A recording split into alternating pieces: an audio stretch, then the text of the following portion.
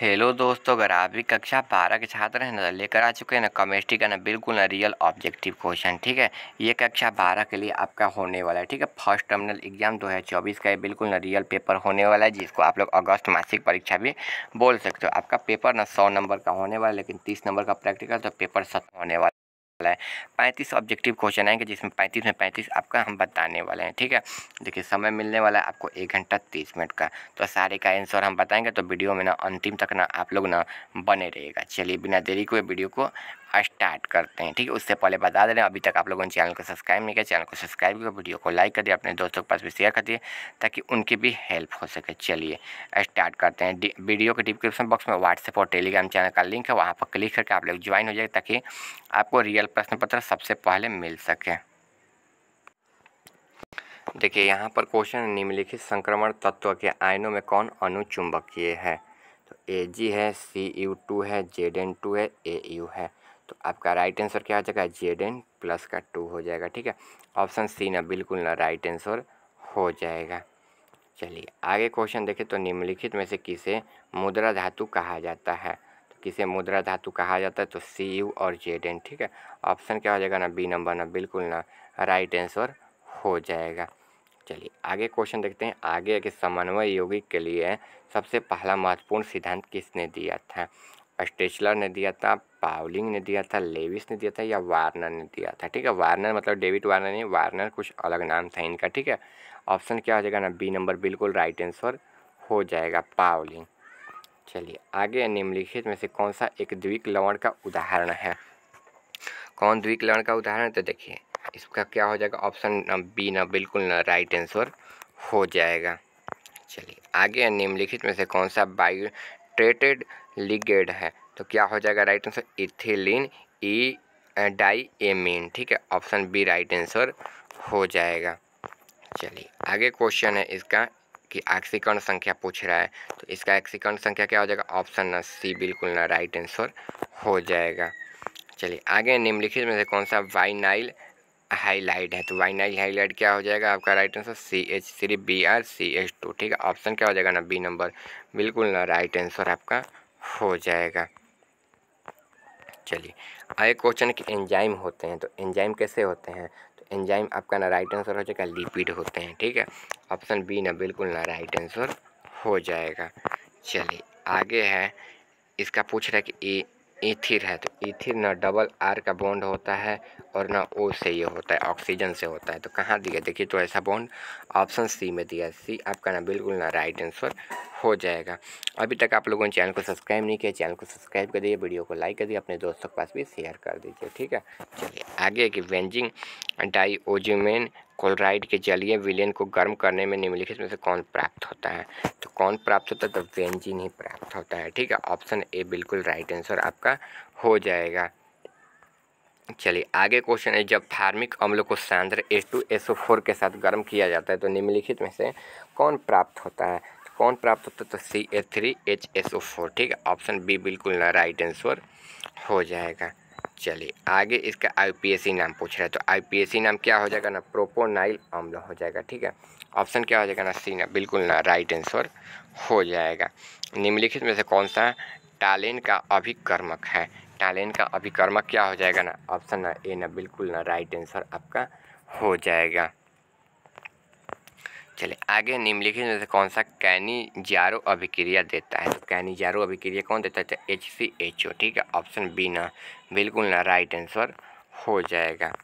चलिए, आगे निम्नलिखित में से कौन सा कार्बोहाइड्रेट प्रकृति में प्रचुर मात्रा में पाया जाता है? तो कौन पाया जाता है? तो देखिए, कौन पाया जाता है? ग्लूकोज पाया जाता है कि स्टॉर्च पाया जाता है, कि फैक्टोज पाया जाता है, कि सेलुलोज पाया जाता है? तो राइट आंसर क्या? स्टॉर्च ठीक है? ऑप्शन सी राइट आंसर हो जाएगा। चलिए, आगे का क्वेश्चन है, निम्नलिखित में से कौन सा डाइसोकोराइड दूध में उपस्थित रहता है? तो कौन? सुक्रोज लैक्टोस माल्टोस, इनमें से कोई नहीं तो लैक्टोस हो जाएगा, ठीक है? ऑप्शन बी ना, बिल्कुल ना, राइट आंसर हो जाएगा। चलिए, आगे विटामिन ए का रासायनिक नाम निम्नलिखित में से कौन है? तो कौन है? तो इथामीन हो जाएगा, ठीक है? Option right answer, option A हो जाएगा। चलिए, आगे निम्नलिखित में से कौन सा विटामिन जल में घुलनशील है? कौन सा विटामिन जल में घुलनशील है? तो विटामिन बी और सी, ठीक है? ऑप्शन क्या हो जाएगा? सी ना, बिल्कुल ना, राइट आंसर हो जाएगा। निम्नलिखित में से किसी से इंसुलिन स्रावित होता है। तो कैसे इंसुलिन स्रावित होता है तो अग्नाशय से, ठीक है? ऑप्शन क्या हो जाएगा? बी ना, बिल्कुल ना राइट आंसर हो जाएगा। विटामिन ई की कमी से निम्नलिखित में से कौन सा रोग होता है? तो कौन सा? तो बेरी बेरी, ठीक है? ऑप्शन क्या हो जाएगा? ए ना, बिल्कुल ना राइट आंसर हो जाएगा। चलिए आगे प्राकृतिक रबर निम्नलिखित में से किसका बहुलक है? तो जो प्राकृतिक रबर किसका बहुलक है? इथिलीन का है बेंजीन का है आइसोप्रीन का है इनमें से कोई नहीं। तो आ, इसका राइट आंसर क्या हो जाएगा? बेंजीन का ठीक है? ऑप्शन क्या हो जाएगा ना? बी नंबर ना? बिल्कुल ना। राइट आंसर हो जाएगा। देखिए इसका है पीएससी नाम पूछ रहा है तो क्या हो जाएगा ना? सेकेंडरी ब्यूटेन कोलराइड हो जाएगा। चलिए तेईस नंबर क्वेश्चन दिया एल्किल हेलराइड का उपयोग निम्नलिखित में से किसके द्वारा निर्माण में होता है? तो एल्केन के निर्माण में होता है, ठीक है? ऑप्शन क्या हो जाएगा ना? ए, ना, बिल्कुल ना, राइट आंसर हो जाएगा। चलिए, आगे निम्नलिखित में से किस यौगिक का सोने द्वीव अघूर्ण है? तो किसका है? तो C H C L three का, ठीक है? ऑप्शन बी, राइट आंसर हो जाएगा। जिंक और जल के साथ क्लोरोफॉर्म का अवकरण से प्राप्त होता है। तो क्या होता है? तो एथिलीन प्राप्त होता है, ठीक है? ऑप्शन बी राइट आंसर हो जाएगा। चलिए, आगे क्वेश्चन है यहाँ पर, निम्नलिखित में से कौन सा आयोडोफॉर्म का परीक्षण नहीं देगा? तो कौन नहीं दे तो एथेनॉल जो है ना, वो नहीं देगा। ऑप्शन बी राइट आंसर हो जाएगा। ब्यूटेन टू ऑल एक है तो एक क्या है? तो सेकेंडरी एल्कोहल हो जाएगा, ठीक है? ऑप्शन बी राइट आंसर हो जाएगा। अभी तक आप लोगों ने चैनल को सब्सक्राइब नहीं किया, चैनल को सब्सक्राइब भी कर दीजिए। निम्नलिखित में से कौन जल में घुलनशील है? तो कौन है? तो C, H three, C L, ठीक है? ऑप्शन बी, राइट आंसर हो जाएगा। चलिए, आगे क्वेश्चन, क्रिस्टलीय तंत्र में कुल कितनी संख्या होती है? तो सात होती है, ठीक है? ऑप्शन क्या हो जाएगा? ए, बिल्कुल राइट आंसर हो जाएगा। निम्नलिखित में से कौन सा सहसंयोजक ठोस है? सहसंयोजक ठोस कौन है? तो हीरा हो जाएगा, ठीक है? ऑप्शन क्या हो जाएगा ना? ए नंबर ना, बिल्कुल ना। राइट आंसर आपका बी नंबर हो जाएगा। चलते हैं आगे क्वेश्चन की ओर। किसी धातु में षष्टभुजीय सीमित पैकिंग संरचना समन्वय होती है तो पाँच होती है, चार होती है, आठ होती है बारह होती है? तो आपका राइट आंसर क्या हो जाएगा? ऑप्शन ए, पाँच होती हैं। चलिए आगे क्वेश्चन देख लेते हैं, निम्नलिखित में से कौन सा आदर्श घोल नहीं है? तो क्लोरोफॉर्म प्लस एसीटोन, ठीक है? ऑप्शन क्या हो जाएगा ना, सी नंबर ना, बिल्कुल ना आपका ना, राइट आंसर हो जाएगा।